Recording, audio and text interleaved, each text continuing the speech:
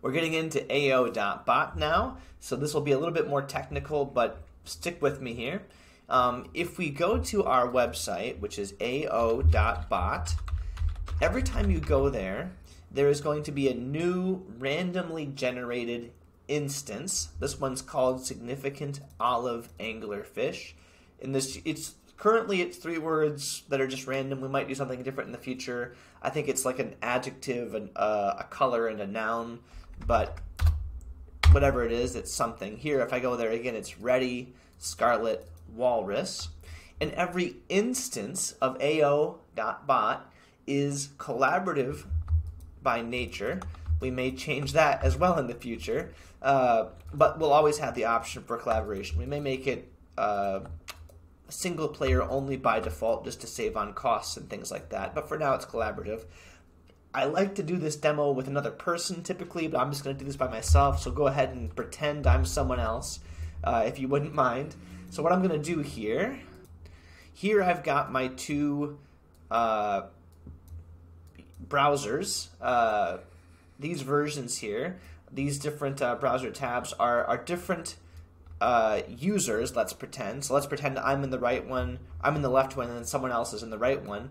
What I like to do in this setting is I like to first just make a bunch of bots. These individual purple bots are game objects, and I like to ask them to help me stack this into a tower. The reason I like to do this is because it communicates instantly the natural way we can collaborate in 3D space that mimics real life. And this is a major problem that most platforms and most digital experiences have.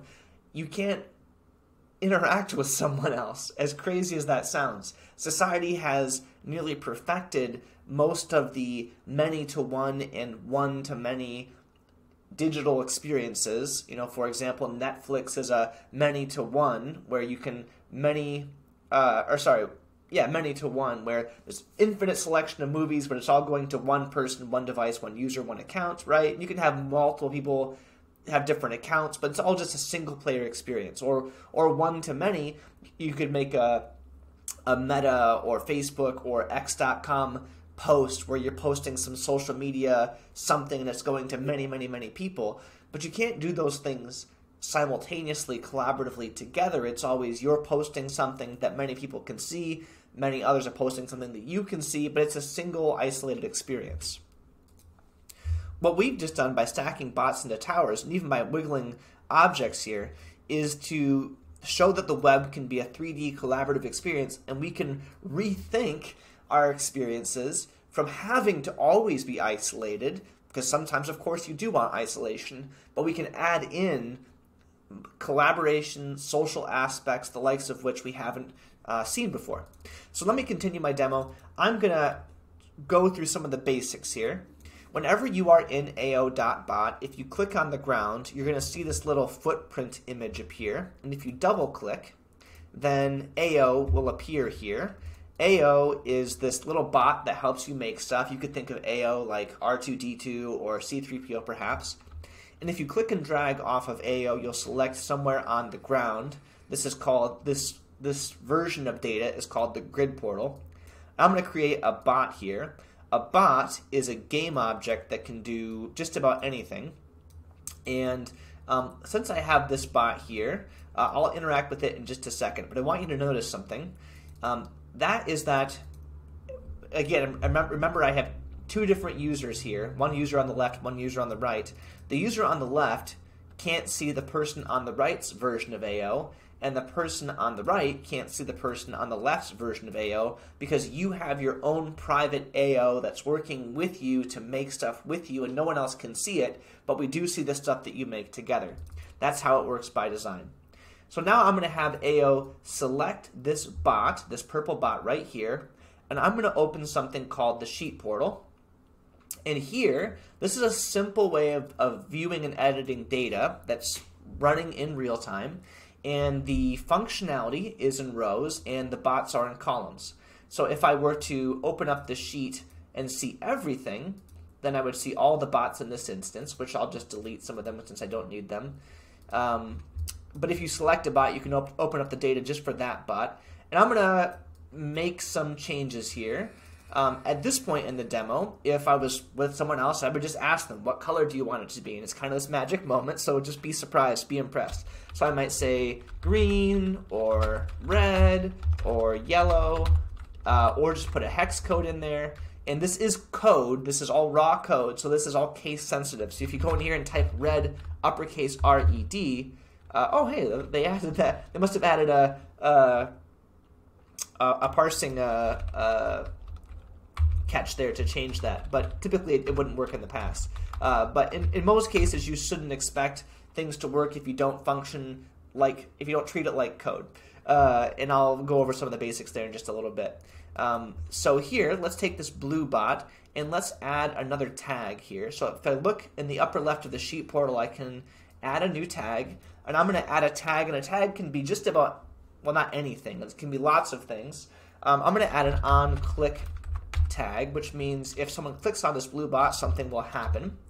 I'm going to add an, you don't have to remember all this, just watch me go so you can see what can be done. But I'm going to add an at sign to turn this on-click environment into a code environment. Now it's an IDE where I can do JavaScript and other stuff. So I'll do os.toast, which is a simple toast message, and it'll say hello world. And now if I click on this blue bot, the message will appear down below. Uh, where it just says hello world. Now, if um, I was again working with someone else, I would typically have them go into the sheet portal and I would say, You change the text to say whatever you wanted to say, and they would make it say hello. Maybe they would make it say hello, Craig. And then suddenly this is all working in real time. Now it says hello, Craig. That message pops up down below. And this is amazing because we can collaborate in real time, we can code in real time, we can actually mod, change, adapt things that are made with AO.bot, and it's very easy to do that. If you are a, an actual developer with uh, any degree of proficiency, I don't recommend you use the Sheet portal, uh, which is what this thing is called. Uh, we have a different system I recommend that you use, but it is a great place to start. And if you're wanting to simply just select and edit data, the Sheet portal can be an amazing tool. If you want to open up the documentation and see what else can be done, whenever you're in a tag that's supported, you can always click on the docs button right here, and that will take you to the docs and take you to the, where that, that tag is, and then you can, can, can of course, uh, search the documentation and see um, all the other stuff there is to see. And we'll be adding more tags over time as we go. So let's do a few more things. Um, now I want you to see how interactive and uh, interoperable the internet can be if we stick to shared data models. What does that mean? Well, let me show you. So I'm going to go to Google. I'm just going to do this. This is you can replicate this yourself if you want to. I'm going to search for a GLTF sample model. You probably don't know what a GLTF is. Um, that's okay. A GLTF is is a 3D asset. So you've maybe heard of a JPEG or a PNG a GLTF is like a 3D JPEG or a 3D uh, PNG. It's basically called a mesh. It's a three. It's a 3D asset. And I'm gonna grab. I could grab any of these. Um, let's just do the Fox because I like the Fox. And I'm gonna click on the GTF GLTF file. I'm gonna click on that again, and I'm gonna click on this button here that says raw. And here I'm looking at a URL of all the raw uh, GLTF data, and I'm gonna grab this URL. So this is right off the internet. And now I'm going to head back over here and I'm going to turn this blue bot into that fox. So I'm going to delete the color. We don't want it to be a blue fox. Well, here, I'll put it back just so you can see. Uh, and then we'll, we'll delete it later. So I'm going to add a form tag. And I'm going to say, hey, bot, you are going to have a new form now. I could say you, your form could be a helix, or your form could be a egg, or whatever other forms are supported, a sphere maybe. But I'm going to set you as the form of a mesh, and that's an undefined form that you need to provide a definition to. So what's the form subtype? What kind of mesh is it going to be? It's going to be a GLTF. And what's the form address? Where's the GLTF located? Right here. And now I'll delete that color. Now we have a blue fox. Well, now it's a regular fox. Uh, it's a bit too small. I'm going to add a scale tag. Let's make it seven times bigger. There we go. And now I'll just copy that to the clipboard. And I'll just paste that a few times. And now we have a few more foxes here. And let's add a form animation. and uh, I know the animation on this fox. If it if it didn't have this animation already defined, I couldn't do this, but it does. And now I can make it run. So let's just make that happen. And I'll make one of them a little bit bigger. Now it looks like uh, a mother or a daddy fox with two baby foxes running somewhere or something like that, perhaps. Um, and so you can begin to see how you can easily create 3D experiences using this sort of a, a framework. There's a bunch of other experiences we have created, but I wanted to show you this so that you could get a sense of how this works. It's just simple data. Now I'm going to do two more things. I'm going to first make a new tag here called the map portal. There are infinite ways to view data, and I'm going to show you what I mean here in this framework. So I'm going to pick the big fox, and I'm going to say I'm uh, I'm going to declare this bot this fox to exist in another dimension. Why is this important? Because data has n dimensionality, and you probably don't know it. When you go to Gmail or your email provider, and you you load up your email, you begin in the inbox. But the inbox isn't really where your emails are. In your e- in your in your email client, there's thousands of emails. They're all there, and some of those emails are tagged inbox. And then when you click on inbox, it just shows the when you start there, it just shows you you know a, a subset of all the emails. But you don't really have an inbox. You just have a bunch of emails, and then they curate and sort what you see. Uh, likewise, um, these buttons on the web browser as I hover over. This is the, the back button. This is the refresh. This is the home button. Those are just bots that you can click on that do things. Just like if I click on this uh, Fox here, it still says hello Craig because we added an on-click action. This is just uh, a bot, a game object that can do whatever we program it to do, and everything you use is just game objects that have been pro- programmed to do what they do, and you just haven't thought of it that way before, perhaps. So I'm going to show you what I mean. I'm going to declare this fox to be somewhere else at the same time so you can see my email example. So I'm going to add a dimension. I'm going to call it the AO. Uh, let's just call it the demo. This is the demo dimension. So I've declared a new dimension and I'm going to say true. The fox, it is now true that this fox is in the demo dimension. So up here in the URL, I'm in the grid portal, um, and I'm gonna and this this says grid portal equals home. I'm gonna change home and I'm gonna say grid portal equals demo, and I'm gonna now go to the demo dimension. And in the demo dimension, I'm now going to see a fox. And this fox, I can move it around, and as you can see here, the xy value, xy and z values as well, they change. They change as I move this fox around here. And the demo dimension fox can have different xy values than other dimensions. Uh, and so here, the fox is uh, still over here as well. So here the fox is in this dimension, and it's also in this dimension. And if I color this fox, which I'll just select it and color it blue, then, oh, one second. There we go. Now we kind of have a bluish green fox. Or if I change it red or orange, or I guess it is already orange. Uh, if I make it yellow, uh, I'm editing the data here. And if I make it bigger, I'll make it 15 it's bigger in different in, in these different dimensions. But this can be in different in different XYZ positions. So uh, there was an error there before. I figured out that was a user error on my part. I figured out what I did wrong. But anyway, uh, now let's go see the, the fox in the map portal. So I'm going to make this fox way bigger. I'm going to set it to be 300. Uh, so it's at 30 scale. Let's zoom out. It's going to be at 300 scale. 3000. Now it's so big that I can't even see it, and that's okay. Uh, so I'm going to head to the to the map portal. So I'm going to say and map portal equals home because I've declared this fox to also exist in the map portal. And the grid portal is ways to view data on a grid. The map portal is ways to view data on the map, as you may have guessed. And there's our fox. And so I can have data work across all dimensions and I can have data uh, visualized in all sorts of interesting ways. Whatever our ecosystem can support, we can do. And there are many ways we can take advantage of these situations. And I live over here in Grand Rapids, that's where I put my Fox. And this is why we've used um, this ecosystem to make all kinds of content. But I want to show you something else here. And I want to that's that I want to show you how easy it is to share something that you've made. So let's say I was happy with this little experience here. I could click on AO, uh, double click to make AO appear, and then click on it, and then click share, and then click download. And if I download that, it's going to generate this file called a .aux file. And this is just JSON, if you know what JSON is. Uh, but I can go to a new instance of ao.bot, and I can just drag my JSON file right in, and there we are. And it is as simple as that. And if you want to upload assets, you can literally just drag it, drag it in. It's drag and drop, right? Um, so that is an amazing way to quickly create and share experiences.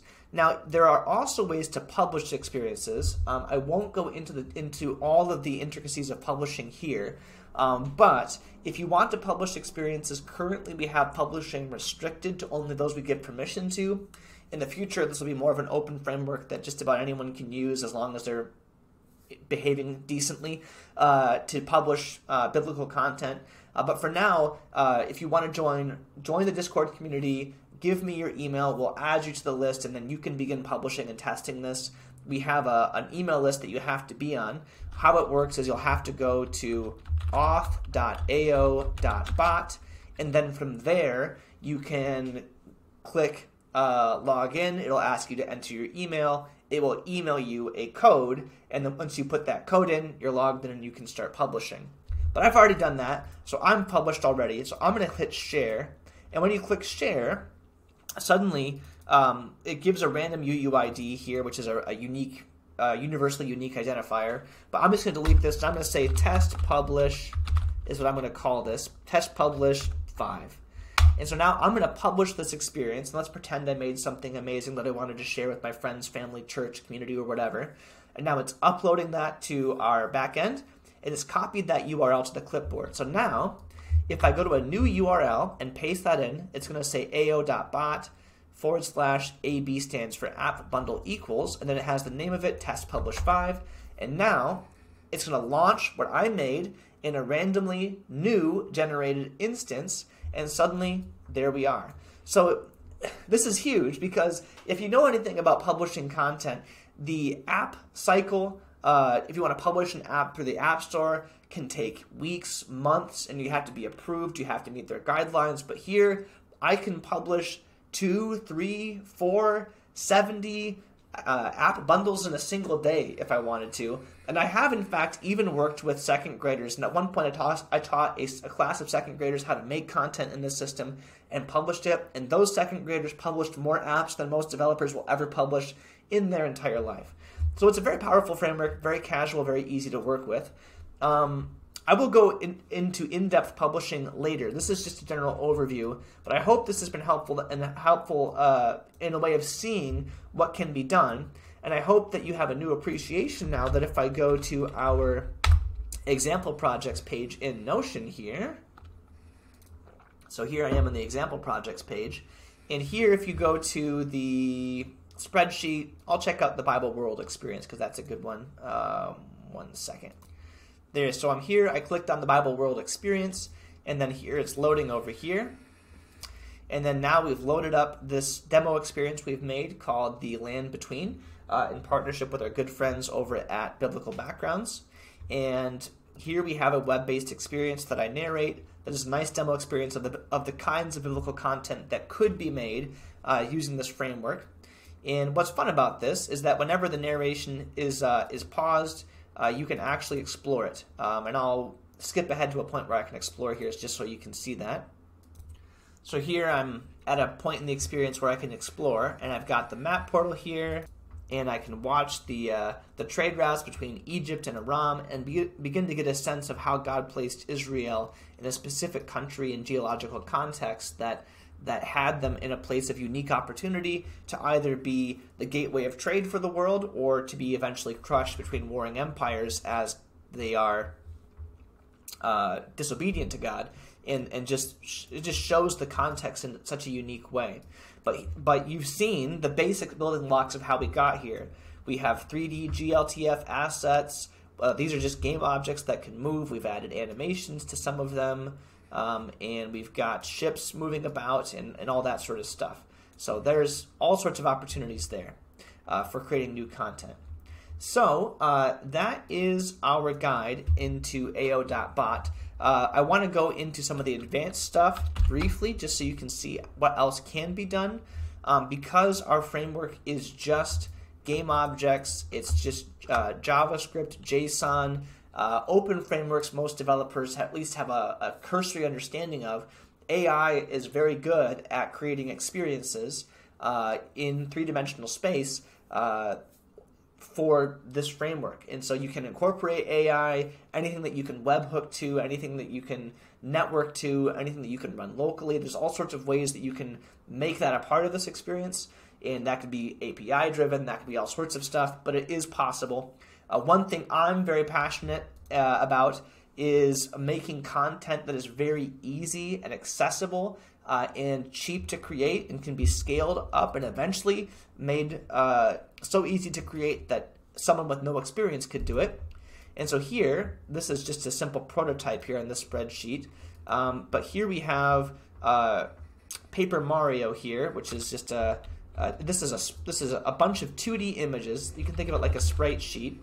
So here, imagine a sprite sheet is kind of like a flip book. If you remember flip books from grade school, it's just a bunch of pictures similar to a movie. How a movie is just pictures moving fast. This is literally just 2D images that can move fast. And AI is uh, that is that is being programmed to move in different directions as the character moves. And so AI is getting really good at making 2D assets. AI is not there for making 3D assets yet, uh, but I'm sure they will be in the future. But for now, 2D assets are amazing, and if we can just have AI create what's called sprite sheets, suddenly we can create tons of content uh, for free uh, or for almost free. That day is not upon us yet. I have not found any AI that can reliably create high quality sprite sheets yet, but I'm sure that day will come soon. And at that point in time, uh, we're going to have all sorts of opportunities to create new content.